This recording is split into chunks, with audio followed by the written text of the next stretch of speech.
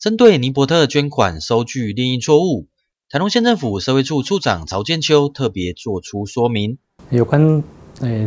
这一次那一个民民众捐款哈，尼伯特风灾的那一个捐款，还有有部分收据哈，因为那一个作业上的疏忽啊，造成那一个非常多的民众还有那一个媒体的关心哈。我想这边正跟大家做个说明。这一次的尼尼伯特风灾的捐款总共哈有六万四千七百三十五笔哦。那透过不同的银行不啊那个四大超商的系统，所以来的资料格式非常哦都不太一样，所以我们需要花大量的时间来做的那个资料的处理。那第一批的收据，我们在八月十五号的时候就哦委托那个委托厂商来印制来来邮寄。那其中第一批大概是两万一千五百五十笔左右哈，那我们就发现到大概有六百八十四笔的那一个哦那个那个收据的金额的那个哦那个那个有产生错误的情况，那当天我们就已经哦做那个补印，把正确的发票印出来，那隔天也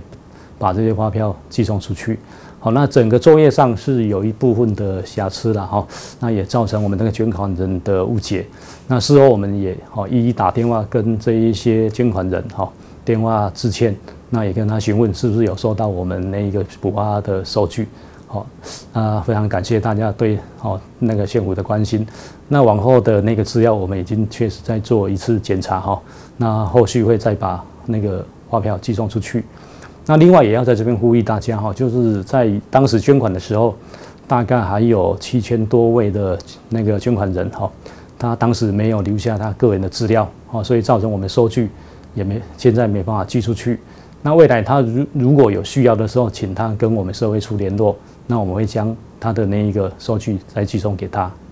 社会处表示，其中部分资料因为印发收据系统对签位员逗点的判读错误。造成六百八十四份捐款收据有金额误载情形，社会处一发现之后，立刻补寄新的收据，并逐一打电话向这些捐款人确认及对于造成他们的困扰致歉。东南新闻范耀林台中市采访报道。